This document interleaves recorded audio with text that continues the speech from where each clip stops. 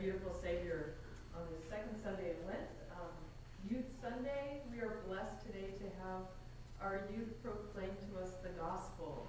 And today our gospel lesson is the gospel in miniature, as Martin Luther referred to it. Uh, we have John 3.16, which also has 3.17 with it. God did not send the Son into the world in order to condemn the world, but in order that the world might be saved through him. So let us uh, tune our hearts and um, open our minds to receive the word that God has for us this day. I invite you to stand and join me in confessing our sins. Trusting the word of life given in baptism, we are gathered in the name of the Father, and of the Son, and of the Holy Spirit. Amen. Dear friends, let us confess our sin in the presence of God and of one another.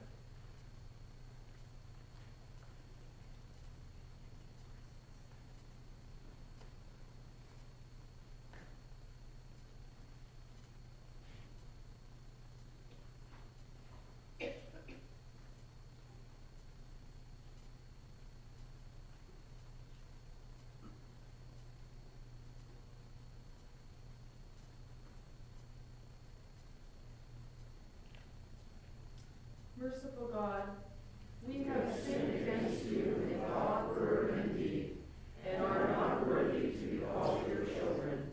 Have mercy on us and turn us from our sinful ways. Bring us back to you as those who once were dead, but now have life, through our Savior Jesus Christ. Amen. Brothers, God loves you dearly.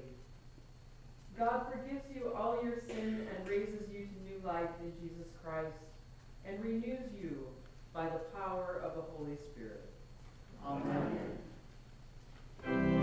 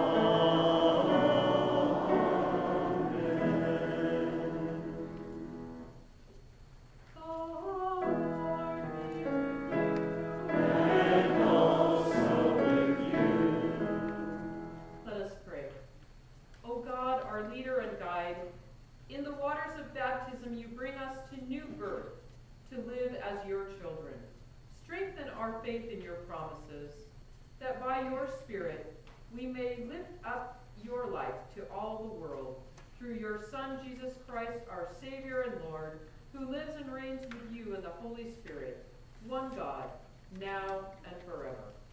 Amen.